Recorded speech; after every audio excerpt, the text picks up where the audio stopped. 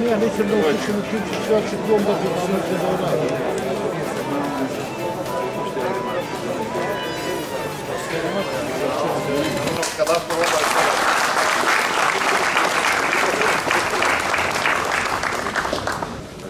Само да ве подсетам. Сушност и во 2016 година, кога ги видите резултатите и бројот на мандатите, ќе видите дека ВМРО, ДПМН и коалицијата победија. Ја изгубија парламентарната битка, ама всушност не се согласија за непарламентарниот пазар. Деновиве слушаме од прва рака од господинот Артан Груби како се правела владата во 2016.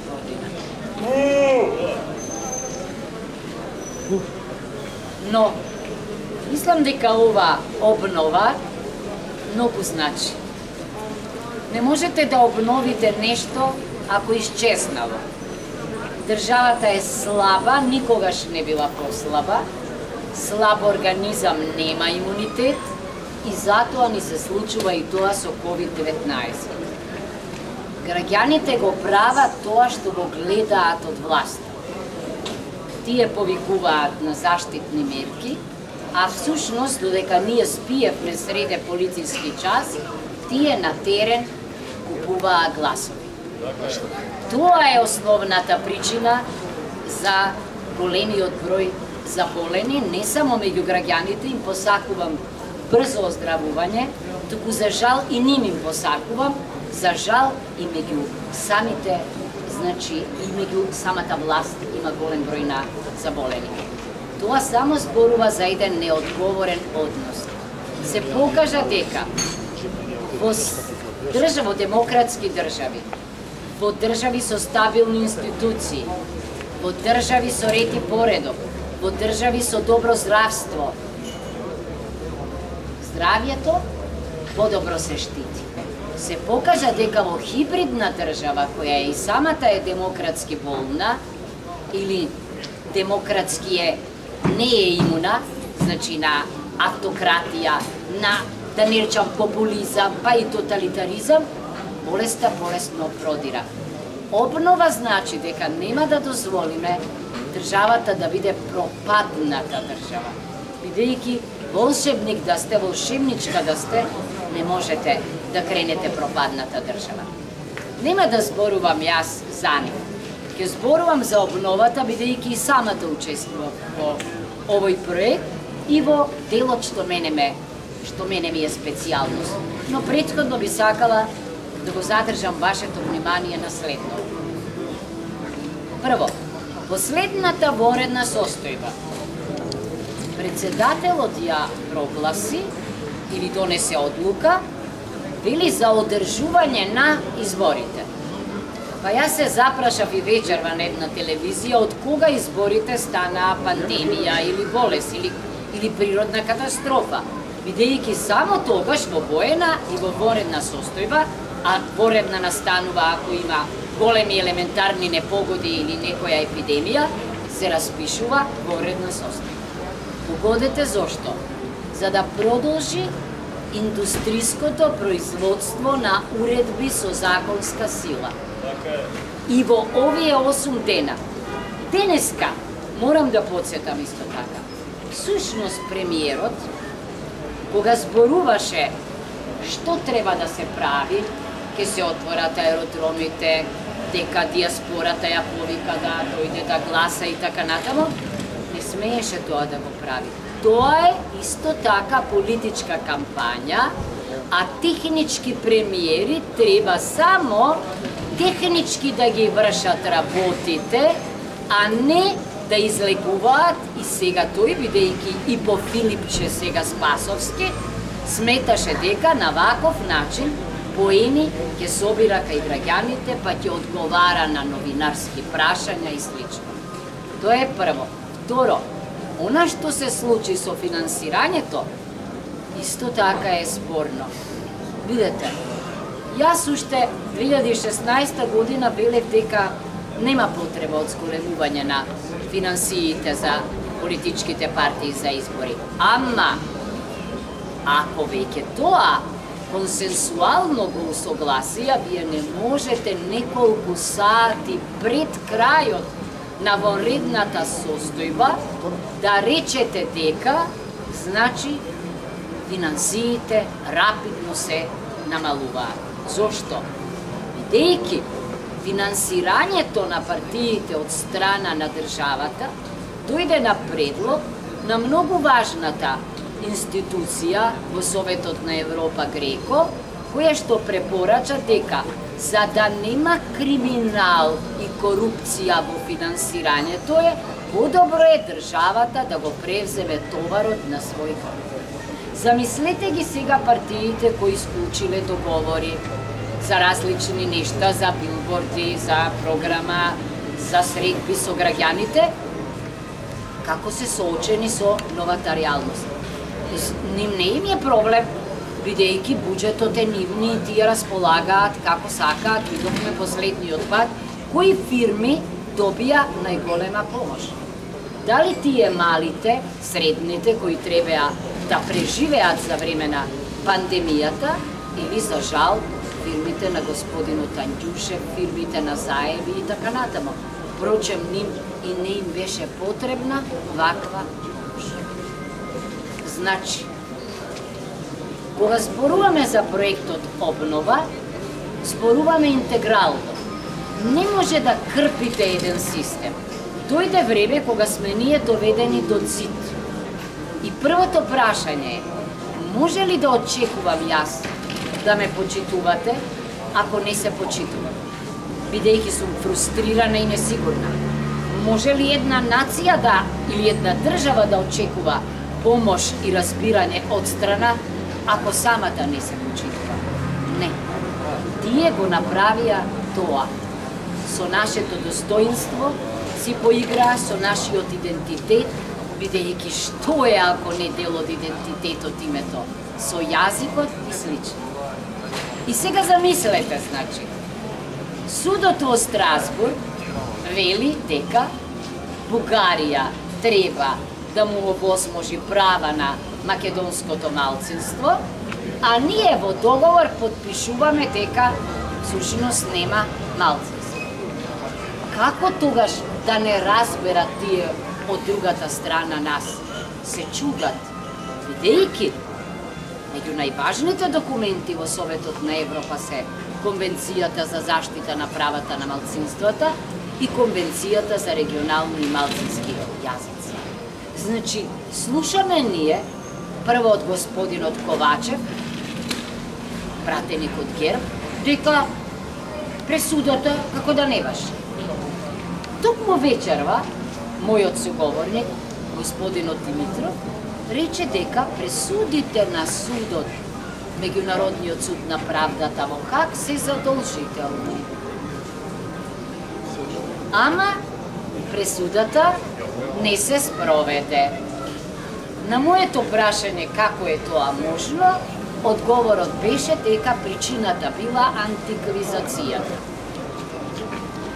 Каква врска има градба со пресуда? не сме го формирале ние судот во как? туку судот го формирале Обединетите нации и Советот за безбедност е тој што треба да овозможи нивно спроведување. Сакам да кажам, на правата страна сме. Ако тие употребуваат или злоупотребуваат на прав пат, видовме каков е правиот пат, каде заврши, во беспаќе, Што велиме во оваа голема книга, да речам, со проекти? Мора еднаш да се изгради систем. Не можете да го решавате проблемот на зависното судство, ако не го решите проблемот на собранието, на владата или ако сакате на поделбата на власта. Затоа јас предлагам овде. Прво, да се формира, иако ја не знам од кога не е свикана Уставната комисија, Уставната комисија не ја ни свикаа дури и за промена на Уставот, што е шокантно. Значи, да се викнат експерти, кои што сите, макар и да не дојде до промена сега, меѓутоа да имаме ние систем, одговор на она што ни се случуваше. Ако имавме проблеми при формирање на влада, кому да се даде мандат. Ако имаме проблеми кога председателот ќе стави вето што треба да се прави. Ако имаме проблеми кога треба да се распише референдум, па слушаме дека консултативен бил не бил задолжителен резултатот, иако во Уставот друго пишува. Ако имаме проблеми со човековите права, ако имаме проблеми со поделбата на власта, бидејќи јас се уверувам дека уште две земји на светот има, каде што има само, само распуштање на парламент. Мора да има распуштање. Ако парламентот изгласа недоверба на владата, треба двајцата да се заминат. Првата одлука што ќе ја предложам, а мислам дека е важна е, прво, Ако кога ние одиме во експертски тела и нивелат, дека Советот на Европа признава само најниски трошоци, како може тогаш пратениците за патни трошоци да добиваат не баре одат на месечина? Значи најниските трошоци. Второ, Како може пратенички прашања само еднаш во месецот, а се утепаа од плачење за контролната функција заради распуштениот парламент? На Белким треба да има барем еднаш неделно, а и не секој ден како во британскиот парламент. И очекувам идниот премиер, ако биде Мицковски, еден ден во неделата да одговара тој на пратенички прашања, ама и на граѓанските прашања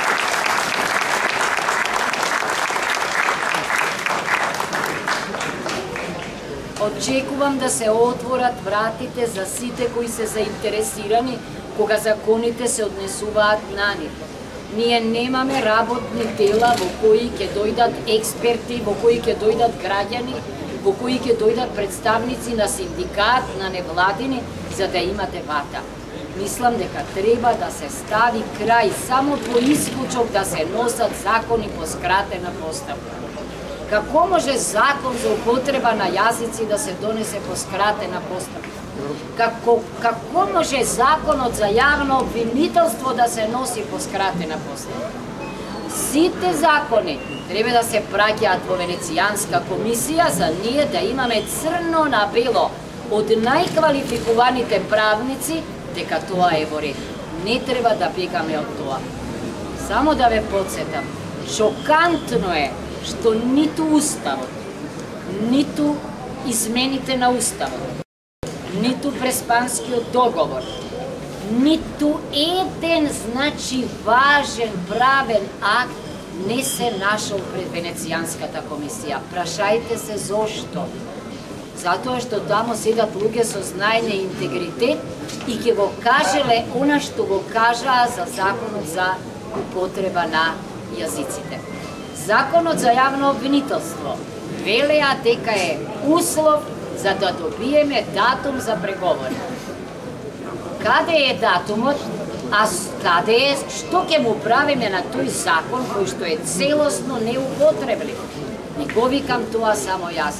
Тоа беше закон, говорно тврдам, за спас на специјалното јавно обвинителство или она малку што остана од него. Неодбранливо е. Ние сме скандалозна држава која што е синоним за рекет. Ако тие што се синоним за држава уживаат 2 до 3 проценти доверба, значи држава нема. Како очекуваме ние реформи во судството, ако председател на телото за реформи е премиерот? Па дури и да беше правник и врвен експерт, не смееше да биде тоа зашто е во конфликт на интерес. Деновиве од сите страни бомби слушаме. Како велат тека, ако дојдеш на крилјата на бомбите и ќе погинеш од бомба, најстрашна е власта на заминување, се вели. Оти тогаш да не се чудите од евентуалните напади. Нивната битка е битка не за живот, сега живот или политичка смрт, сушност. Тоа е нешто што сите можеме да го видиме.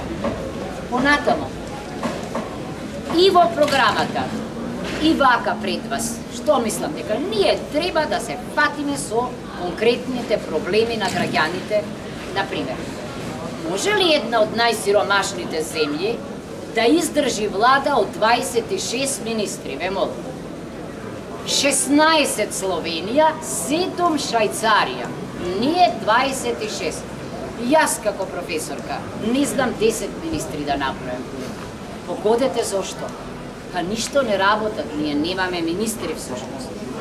Три четворица што се вртат по телевизиите, меѓутоа, секоја реформа треба да почне од самите нас. Ако не се дојде до кратење на, јавна, на јавните трошоци, тогаш граѓаните ќе речат, па овие се слични како предходните. Понатаму, гледам многу жени овде. Видете, ако се оствари таа идеја што е напишана во книгата, 40% жени во владата на Мицковски, па ние ќе видиме скандинавска влада.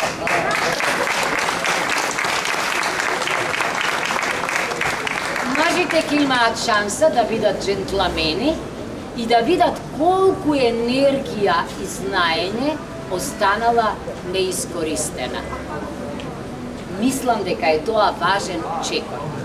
Понатамо, кога ја листате програмата за обновата, значи, така како што треба, све почнува со економијата, завршува на крајот со екологијата, клучните нешта.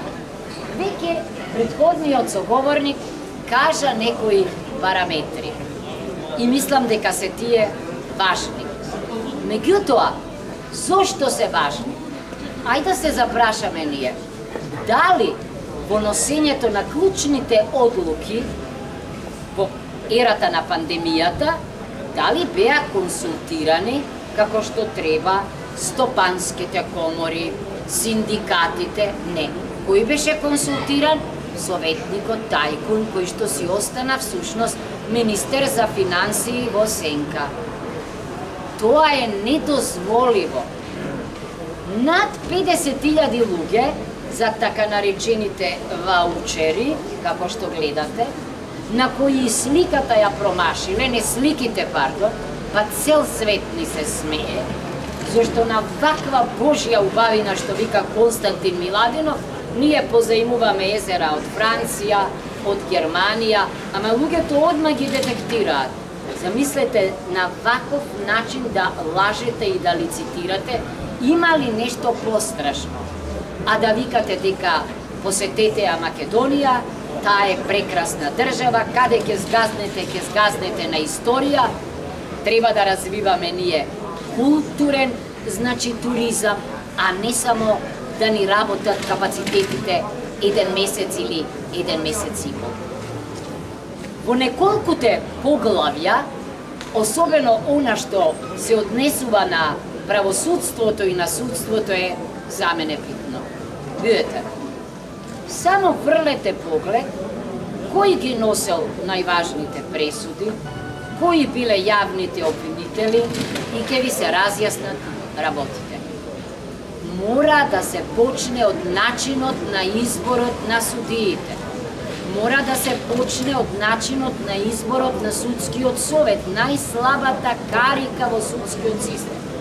Како може да оценуваат судии и луѓе кои не облекле тога, кои никогаш не биле суди. Тоа е недозволиво, тоа треба да биде врв во кариера. Еден друг орган кој што беше нем, а мора да прозборе, ама ќе прозборе ако има што да каже, Уставниот суд. Погледнете кој седи во нашиот Уставен суд. Зашто беа најбрзи? За собствените плати и за платите на судиите кога им беа ограничени. Не е точно, еве, одговорно тврдам, дека не може да се ограничува, ама ако се однесува на сите категории рамноправно. Ако не биде тоа еден оптеретуваш, а друг наградуваш. Така нам нема да не биде ноки на мора, ако треба човек да оди на суд. Бидејќи, ако има независно судство, ќе има и правна држава. Не мислам дека, ах, оваа бука,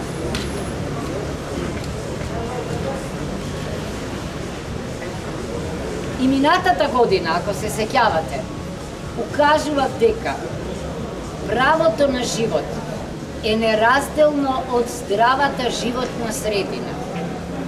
И да бев председателка, еден од првите говори пред претемниците, ќе се однесуваше на тоа дека никој нема право да ни го загрозува животот. Ние нешто сме сега црвената точка по COVID-19, Република во пламен, велам јас не баре, сите бегаат од тревога од црвено, туку, значи, бевме на врвот како една од најзагадените земји.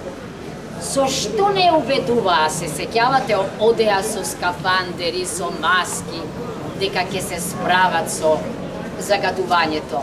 Ништо од тоа. Дури најпосветените невладини организации кои имаа извонредни анализи, планови, не можеа да допрат.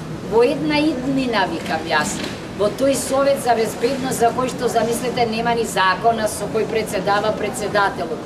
Мора по функција да седи министерот за екологија. Тоа е нешто што е многу важно. Меѓутоа, Ајде да видиме колку средства се одвојуваат. Затоа таа милиарда што споменавте на право место треба да отиде. Джабе ни е нам се друго, ако ни е загрозен животот. Гледам многу млади овде. Се бореле за да останат младите во Македонија. Знаете кога ќе останат младите во Македонија? Јас не верувам дека тие одат само заради подобри, повисоките плати и подобриот живот.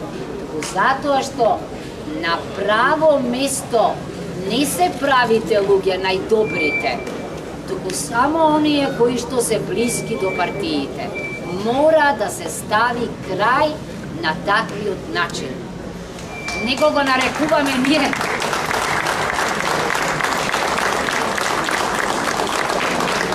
Посакуваме еден ден владата. Сама да ги гони на трета, на четврта, на пета година најдобрите студенти, да им нуди работа.